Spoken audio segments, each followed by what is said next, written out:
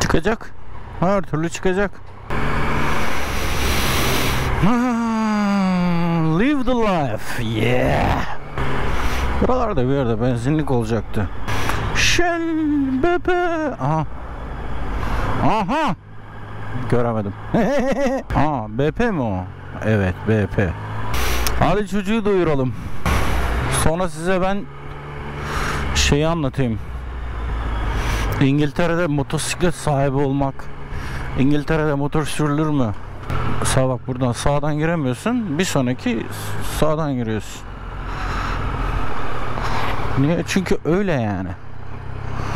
Hop. Baby. Şöyle bir şey aldım. İnşallah iş yapar. Oğlum götüm acıyor lan motor kullanmaktan. Bunu buraya deliğe yerleştiriyorsun hocam. Sonra basmaya başlıyor. Bu yaklaşık 12-14 pound falan alacak bu arkadaş. Niye içmeyi seviyor pezevenk? Alkolik. Bunu böyle biraz daha zorluyorsun. Aa tepeye geldi. Şöyle güzelce yapıyorsun. Şöyle ucunu kıvırıp yerine asıyorsun çocuğu. Hadi bakalım. Ödeyelim. Hadi. Can I pay three? Take care. Göremiyorum ki sulu. Otobüs gider misin oradan? Çıkmayacağım, çıkmayacağım, çıkmayacağım, çıkmayacağım, çıkmayacağım. Sakin, sakin, sakin. Ne haber? Kaskı bağlamamışım. Şimdi baba sadece Londra için konuşacağım tamam mı? Böyle bana sürekli soruluyor. Motor sürmek nasıl? Motor sürmek kolay mı? Motor sürmek bilmem ne. Aa, buraya girmemem lazımdı. O zaman buraya geçmem lazım artık. Yapacak bir şey kalmadı. Şimdi motor sürmek kolay. Filtering serbest. Filtering dediğimiz olay arabaların arasından gidebilme olayı tamam mı? Türkiye'de de arabacıların çok gıcık olduğu gibi burada da arabacılar bu olaya çok gıcık oluyor. Niye? Şimdi onlar duruyor sen gidiyorsun. deliriyorlar deliriyorlar yemin ederim. Hocam şunu bir boşa alsana. Teşekkürler. Şimdi motorla ilgili benim söyleyebileceğim bir sürü şey var tamam mı? Kaç kil kilometre hesabı bilmiyorum ya. 7000 mile'dayım galiba totalde. Ya da 5000. Yani 10.000 kilometreye yaklaştım tamam mı İngiltere'de motosikletle. Ee, bunun tamamını yaz döneminde yaptım. Kışın neredeyse motoru yerinden çıkartmadım. Hatta scooter'ın kışın yaptığım bazı denemelerinde neredeyse aküsü bitecek kadar hareket etmediğini fark ettim. Son böyle ucu ucunayken artık çalıştırıp şarj edip bilmem ne bilmem ne. Ne yapayım baba? Şimdi buranın trafik düzenine alışmak öncelikle şu yerdeki şekillere alışmak tamam mı? Yani tabelalar var hızla ilgili bilmem neyle ilgili seni uyaran bir şeyler var. Ama genel olarak sana işi anlatan hep yerdeki çizgiler işte şurası park alanı burası işte hazard çok uzun çizgiler var. Geçilebilir ama esas olayı kısa aralık uzun çizgi şey tehlike bölgesindesin. Yani buralarda bir şeyler yapmak sıkıntılı. Bir şeyler yapmadan önce düşün dediği çizgiler. İşte park edilen yerler belli, park edilmeyen yerler belli. Ve bunların tamamı çizgilerle anlatılıyor. Bu durumda yerdeki çizgilere hakim olmadığın zaman burada trafikte arabayı da kullanamazsın, şeyi de kullanamazsın. Motoru da kullanamazsın. Selam hocam. Biz selam verelim. Skutercılara selam verilmediğinde ben skuter kullanırken uyuz oluyordum. Geç bakayım. E bana da teşekkür et ama. İstesem gazı açar akraba oluruz. Burada motor kullanmak kolay mı? Teknik olarak kolay. Şöyle kolay. Buradaki bütün arabacılara ilgi öğretilen şey bisikletlere karşı dikkatli olun. Bisikletleri görün, bisikletlere çarpmayın. Bisikletlere çarparsanız biz size çarparız. Yani bütün sistem bisikletçileri korumak üzerine olduğu için kesinlikle bisiklet kullanmanızı öneririm bu arada. Motor kullanmak nispeten kolay. Çünkü adam iki tekerli bir şeyin varlığını kabul etmiş durumda. Sana bisikletçiler kadar saygı duymadıklarına çok eminim. Kesinlikle eminim. Çünkü ne olursa olsun bisikletçi 20'lik yolda onların hareket imkanını kısıtlayabiliyor ama buna rağmen onlar da 20 ile gitmek zorunda oldukları için laf edemiyorlar bak. İkinci kırmızı yandı. Ben geçerken kırmızı yanıyor ama ben geçiyorum. Niye? O kontrol için konmuş bir kırmızı. Ama bunda sikke sikke duruyoruz. Niye? Çizgi bu ışığın önünde. Öbürünün ışığın önünde şey yoktu. Orası kavşak. Hani sağdan da bir bağlantı var. Neden söyledim? Ben öyle bir kaza yaptım İngiltere'de. Bana yeşil yandı. Ben gidiyorum müsaadenizle ya. Şuradan gidecektim ama artık gidemeyeceğim Obviously. Şimdi bir sol bir sağ yapacağız. Ben bu yolu hatırlıyorum. Ana caddeden de gitsek buraya çıkıyorduk. Niye beni buraya soktun ki? Hiç sevmediğim şeyler ya. Asfalt bir kere çok güzel tamam mı? Asfalt cidden çok güzel. Birkaç bu rakılı sohbet videolarında da söylemiştim. Yani yol berbat. İzliyorsunuz. Birçok yerde şeyi Merhaba abi. Şimdi benim şu karşı yola değil de önce sol sonra sağ oraya girmem gerekiyormuş. Görmüyorum ki önümü. Mesela asfaltın kaliteli olduğunu kışın çok net anlıyorsunuz. Nerede anlıyorsunuz? Ben mesela bir İtalyan motoru aldım Piaggio.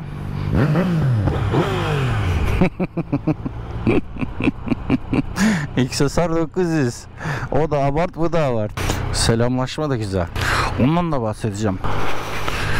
Ee, bak çukurları, delikleri, yamaları görüyorsunuz. Mesela Piaggio ile giderken şu vazgal kapakları var ya o demirler bilmem neler.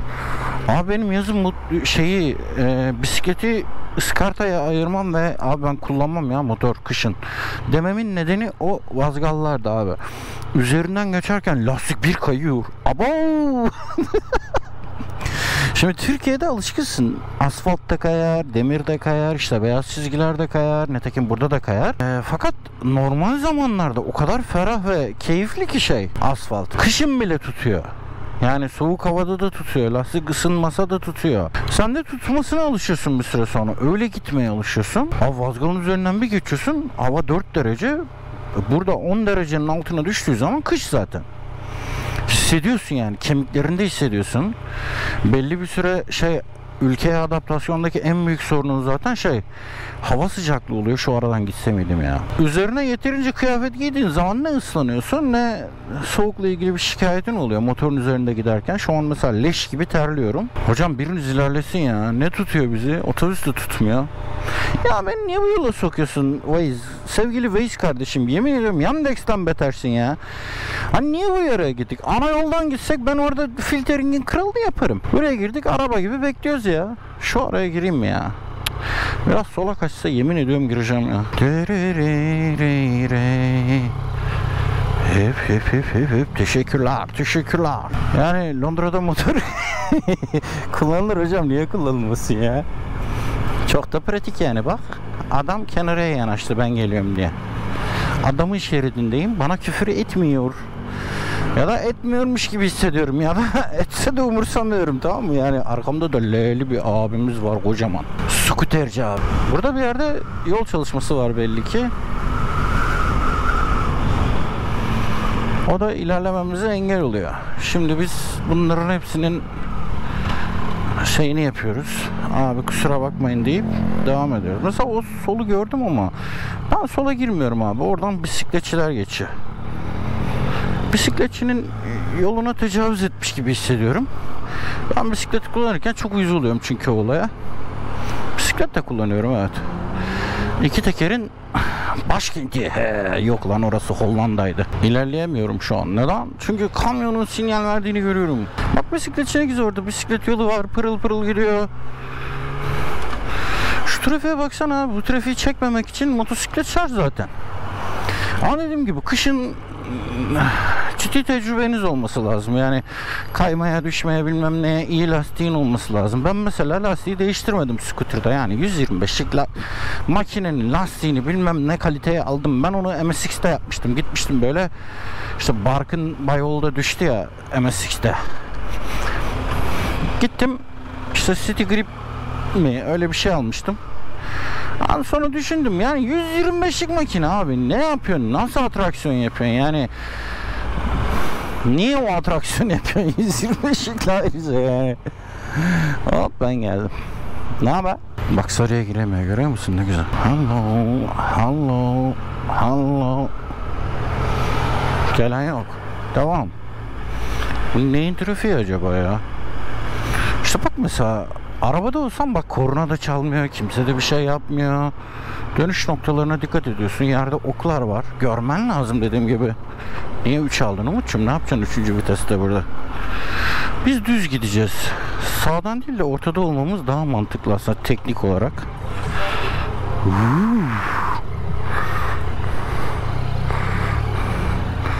Hocalar, canlar, canlarım. Londra'nın trafiği hiç bitmiyor abi. Bir de burada böyle şey, sana trafiği yaratan şey aslında ışıklar. Sürekli ışık var. Sürekli bak. En sona değil bir öncesinden sağa döneceğiz unutma. Şuradan bir hafif çekilse mesela ben geçerim. Teyze ne haber? O ne? Jakai. Kimseden yol istemeyin abicim. Kimsenin size yol verme şeyi yok. Zorunluluğu yok. Senin yaptığın aslında burada da legal olmakla beraber saygısızlık. Yani şey gibi düşün. Bir insan çok fazla bir dertten müzdaripken "Aa, benim umrum değil deyip yanlarından geçin. Uyuz oluyorlar sana abi. Kimseyi uyuz etmeye gerek yok. İlerleyeceğim tatlım? Yoksa ben geçeceğim önüne bak. Geçemeyeceğim kadar öne getirip bunu bu kadar böyle zorlamanın alemi yok. Ben oradan geçerim. Ben scooter yaptım bu makineyi zaten. O ne lan? Gül kahkaha şeysi.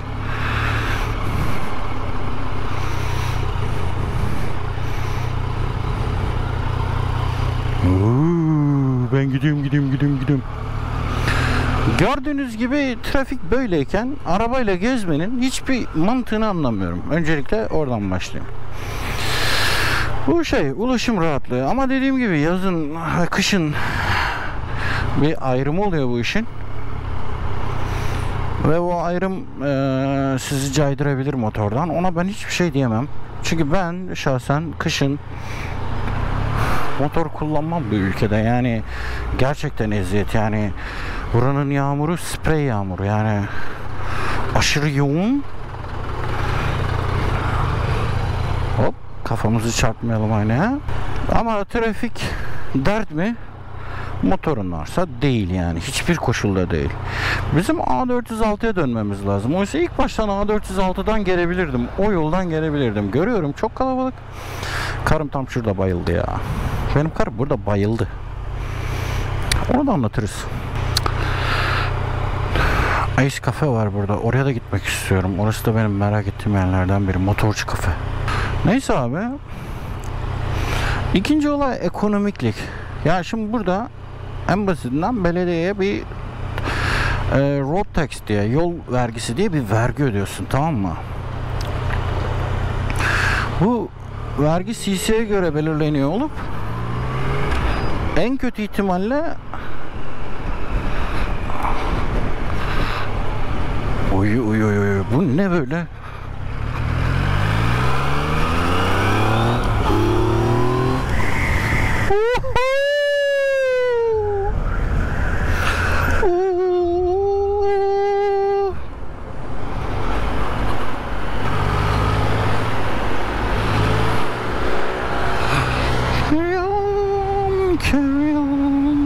Teyze dedi ki öyle gidilmez yavrum dedi. Oha abi araban yanıyor.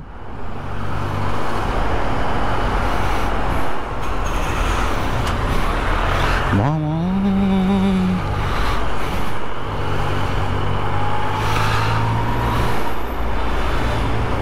İlk baştan yolu kontrol edip bildiğin yolsa bu ana yoldan gitmek, ara yollardan gitmekten her zaman avantajlı motorun olduğunda.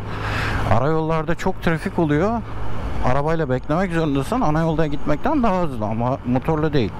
Motorla ana yolda olduğun zaman gayet rahat ilerleyebiliyorsun gördüğünüz gibi. Ben bak insan gibi yani bir nebze insan gibi kullanıyorum. Bir nebze yani insan gibi kullanıyorum. Çok geniş bir kavram. Motorcuların içerisinde sakin kullananlardanım. O aradan yardır yardır geçen abilerimiz dolu. Güveniyorlar kendilerine. Ben buradan sakin sakin aradan böyle fıt fıt fıt gitmeyi tercih edenlerdenim. Buranın hız limiti 40. Adam 40 ile gidiyor nasıl olsa izin var diye. Ah, her şey bir tercih. Araba sola çıkabilir mi? Araba sağa çıkabilir mi? İşte bu beni altına alıp çiğneyebilir mi? Şimdi şu araya girersek geldik. Şimdi beni bir arabanın geçmesini bekliyorum. Hop tamam. Bana daha rahat geliyor bu şekilde sağlı sollu gitmek. Yanımdaki arabayı kendime kalkan alıyorum. Kaza olursa ona çarpsınlar. Aynadan şerit arasında motor var mı kontrolümü yapıp çıkıyorum. Canım. Abi her yerde yol çalışması var. Şimdi gördünüz. Motor erişim için vazgeçilmez. Bu yani İstanbul olmuş, Londra olmuş. Büyük şehirdeysen abi motor kullanacaksın. Arkamdaki arabacı abi çok fazla tamponuma geldi. O yüzden burayı birazcık hızlı geçtim. Hızlı gitmek gibi bir derdim yok dediğim gibi. Yani tabakhaneye yetişmiyoruz sonuçta değil mi?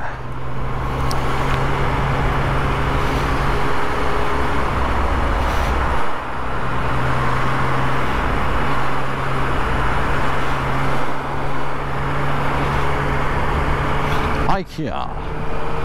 Evinizin her şeyi. IKEA. Oğlum şunu Ikea'dan IKEA'ya çevirene kadar ağzımı. Ikea diyorum adam bakıyor. Ne diyor? IKEA. Ay yavrum ay.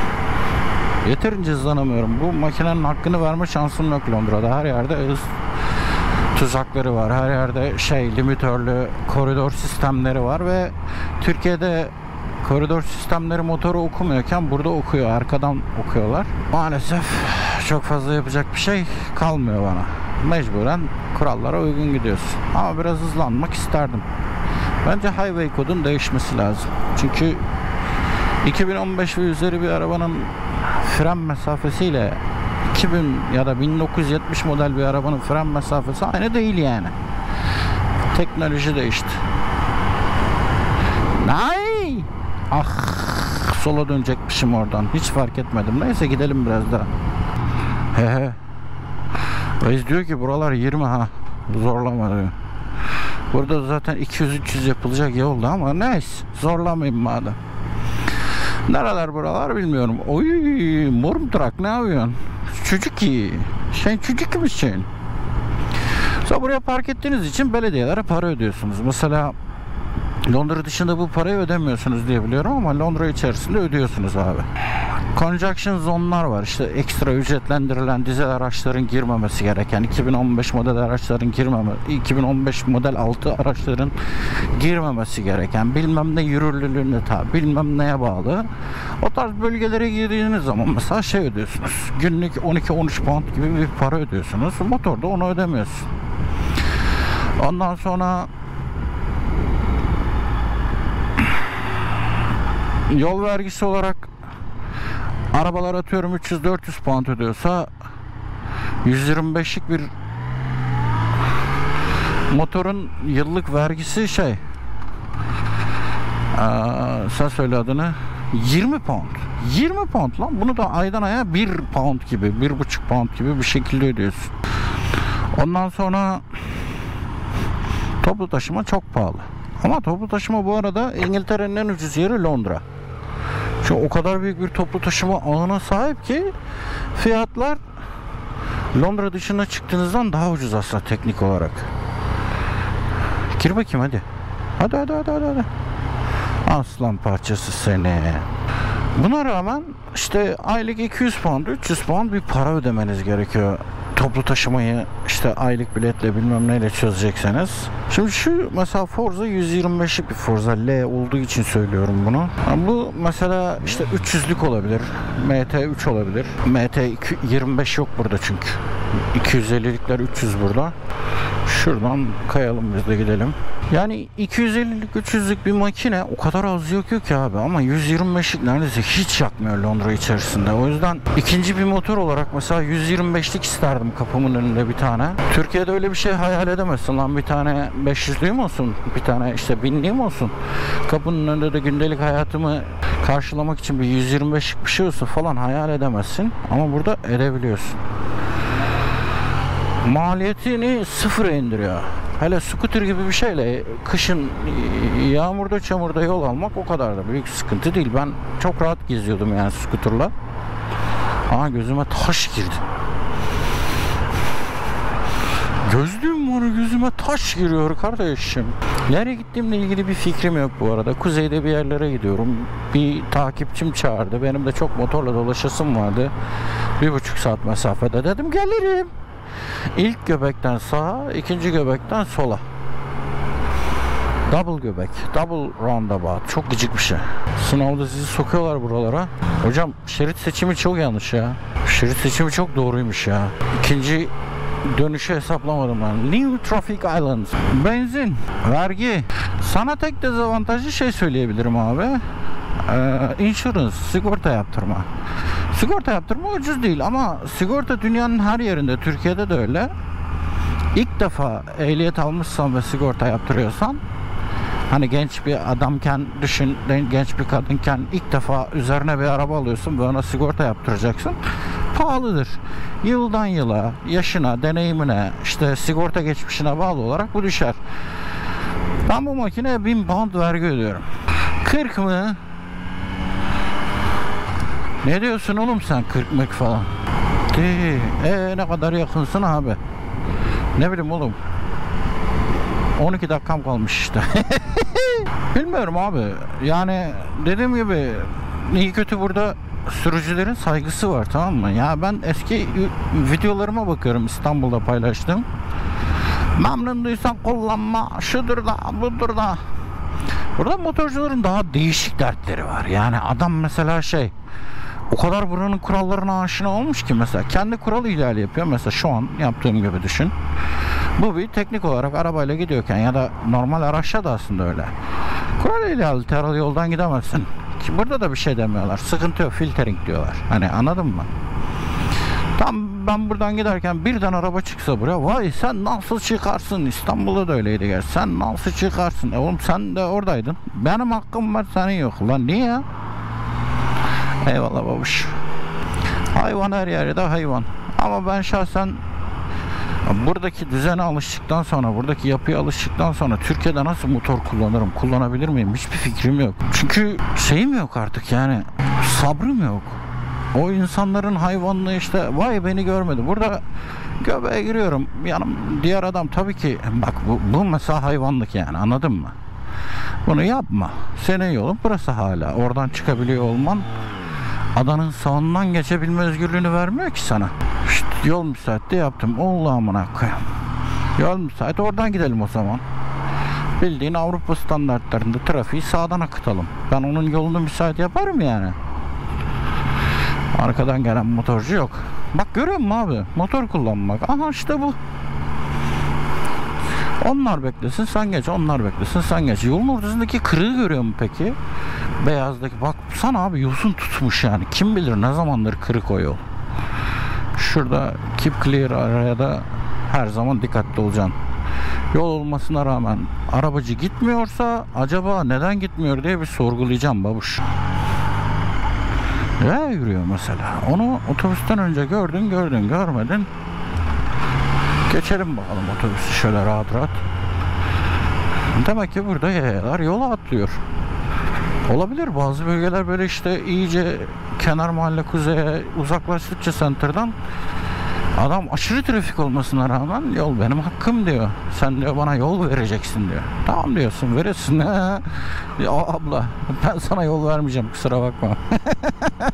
yol daha çok benim hakkım. Ben de vehicle'ım. Vehicle. Vehicle. Yani ben olsam her türlü motor alırdım aga. Hani motor alamıyorum gücüm yok bilmem ne elektrikli bisiklet alırdım 30 yapıyor abi.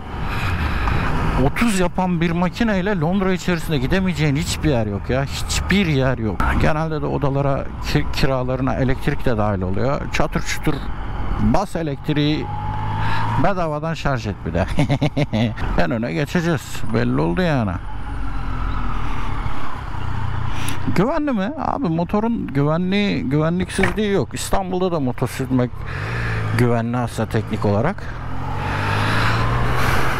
Dinamiklere uyarsan, kültüre uyarsan, trafiğin kültürüne. Yani mesela burada sağdan gelen adama adada yol vermek zorundasın ya da trafikte de öyle. Ama mesela şurada değilsin. Bu yolu keserek girmek. Fakat ada gibi yerlerde dönüş anlarında sağdakinin üstünlüğü var. Türkiye'de de bunun tam tersi. Soldakilerin üstünlüğü var. Bu kural Türkiye'de uygulanmadığı için ilk yola çıkan kazanır. Sen motorcu olduğun için yola çıkmazsan bir tarafını kaptırmazsın, bir tarafını kaptırmazsan ölmezsin. Burada da çok kaza yapma ihtimalin var. Delirirsin çünkü abi burada. Delirirsin vallahi diyorum. O kadar eğlenceli ki motor kullanmak. Şurada da yatırayım motoru. Burada da bir gaz açayım. Burada da bilmem ne yapayım falan derken e, kazanın kralını yaparsın. Mesela buradaki şeylerin yaptıkları kazanın hatta hesabı yok abi. Paketçilerin. Hayvan gibi sürüyorlar. Yemin ediyorum öp başına koy İstanbul'dakileri. Aynısının iki katını ama burada diz değirerek dönüş yapan paketçi var lan. Hocam merhaba. Scooter'la da değdirmezsin be abi. Hocam ben şuradan geçeceğim müsaadenizle. Hazır bana yeşil yanıyorken. Sonra es sonun oradan yukarı çıkacakmışız. Görüyorsun abi aralara karışmak o kadar kolay ki. Şey diyemiyorlar sana bak buraya geldim sola baktım sinyalimi verdim sağdan baktım giriş yaptım yönüme göre sağ sol ayna kontrolümü yaptım navigasyon dedi ki yanlış yola girdin Ay Umut ay. Geri dönüyor. Dönmeyeceğim lan dönmeyeceğim. Beni ileriden sola bağla. Oy çok ters yerden döneceğim ya. İlk çıkışı girecekmişim. Ne bileyim oğlum ya. Geliyor, geliyor gelmekte olan.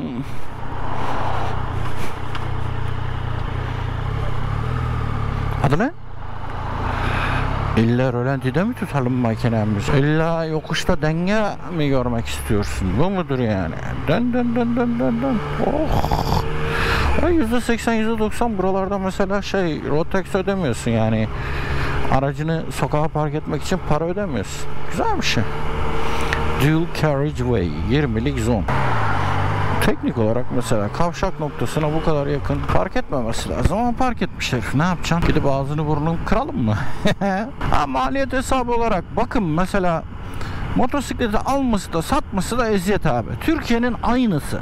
Kime gitsen malı çok kıymetli, ucuzlatmıyor. Ne zaman sen motorunu satmaya karar veriyorsun, adam hemen diyor ki ama benimki şey, şöyle iyi böyle iyi daha iyisini bulamaz. Sen de bir gaza gelmiş bir şekilde şey arıyorsan, motor arıyorsan gidiyorsun pahalıya alıyorsun ucuza satıyorsun. Pahalıya alıyorsun ucuza satıyorsun. Saçma sapan işler yemin ediyorum saçma sapan. Ya e, ne kadar çok sağa dön sola dön yaptırdın bana ya. Biraz kendinize güveniniz varsa burada araba kullanmakta, motor kullanmakta acayip keyifli. Ritmine ayak uydurduğunuzda sinir yapmayı bırakıyorsunuz zaten direkt. Hani aa aynı kırmızı ışıkta 5 kere durdum hay Allah falan. Bu kadar. Türkiye'de olsa ana avrat bacı kalmaz. Burada aman yapacak da bir şey yok. Acelemiz mi var ya şeklinde dönüşüyorsun. E bir süre sonra şey Türkiye'de hayatta kızmayacağın şeylere kızmaya başlıyorsun. Tekrar Türkiye'ye gittiğinde motor kullanamama ya da araba kullanamama ihtimalin oluşuyor. Hiç hoş değil. Bir yandan müzik dinlerken bir şey anlatmak ne kadar zor ya aman. Çıkmazsın herhalde. Şişek değilsin gibi geldi bana. Çok güzel gidiyor ya. Şu dandik yol mesela çizgileri değiştirilmiş bilmem ne yapılmış. Burası tek şeritmiş de işte baksana abi yerdeki bir şeyden burası bisiklet yoluymuş da bir şey olmuş yani. Görüyorsun okuyorsun eski çizgileri de. Şimdi başka bir şey olmuş. Bence İngiltere motor kullanmak için ideal bir yer. Çünkü kurallar Türkiye çok yakın. Londra dışında özellikle. Kimse hız kontrolü yapmıyor. Londra içerisinde böyle bir makine tavsiye etmiyorum. Çok şekil. Ama kullanamıyorsun abi. ikinci vites, üçüncü vites, ikinci vites, üçüncü vitesi. Canım sıkılıyor ya yani. Makineye haksızlık yani. Bunu burada kullanıyor olmam bu makineye çok büyük haksızlık abi. İstanbul'da ben bununla en kötü canım sıkılır Şile'ye abanırım. Canım sıkılır İzmit'e abanırım. Canım sıkılır Beylikdüzü'ne abanırım. Burada öyle işte.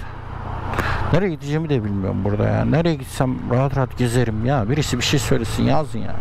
Takip edin yorum yapın. Oğlum bana Londra'daki motorcular bir ulaşsın gezelim ya. 125'liklere de razıyım. Yani 125'likle geziyorum zaten. Turlayacak adam lazım bana. Ben sıkılıyorum tek başıma ya. Psikopata bağlayıp onunla kendi kendime kamerada saatlerce konuşmak nedir? Allah'ını seversen ya. Ne güzel yere geldim lan. Aa, çok şık. Ne kadar da hoş, ne kadar da şık. Aman Allah'ım burada yaşamak istiyorum. Selam amca nasılsın? Oğlum Londra'nın her yerine ayrı ayrı aşık oluyorum ya. Motosiklet alın, motosiklet kullanırım. Motosikletçileri bulun bana yollayın. Ben bulamıyorlar. Neredeler bir anlamadım ben bunları. Bulduğum bütün arkadaşlar şehir dışında böyle yüksek CC'li. Kimse cesaret edip ehliyet alamıyor mu hacı? Hacı!